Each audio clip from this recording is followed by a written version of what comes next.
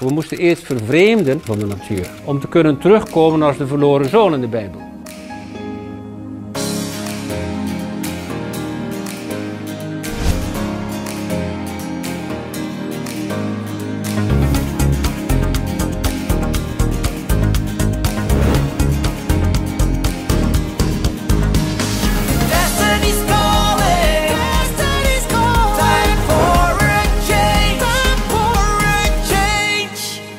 En dan zie je dus in de Bijbel dat die zoon die thuisgebleven is, die snapt er niks van. Want die is niet weg geweest. Die heeft de bewustzijnverruiming niet gehad van de ervaring. En die blijft maar kanken als een klein kind. En hij heeft dit gedaan en ik krijg niks en hij krijgt het kalf, weet je wel. Zat nog helemaal in dat ego vast. En die die terugkomt, heeft nederigheid geleerd. En die verlangt naar huis, enzovoort, enzovoort. Nou, de hele Bijbel staat dus vol met al die metaforen. Maar meestal krijg je dat niet uitgelegd vanuit die hoek. Dit zijn allemaal personages in, in ons. Wij hebben zowel die ene zoon als de ander in ons. Ja, je positieve zelfbeeld is diegene die je schaduw in de weg staat. En de verrijking gebeurt eigenlijk aan de schaduwzijde.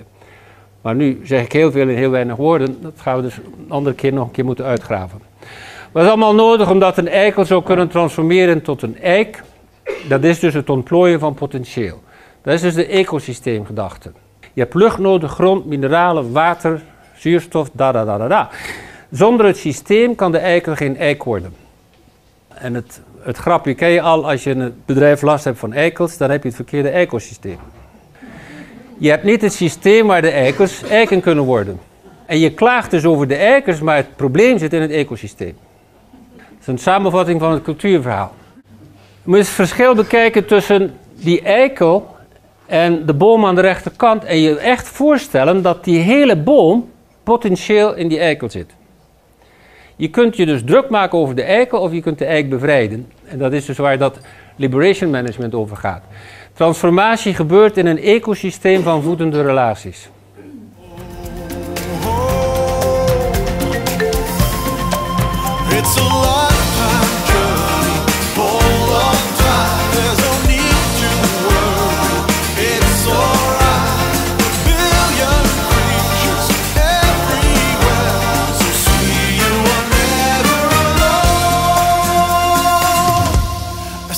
World is our home.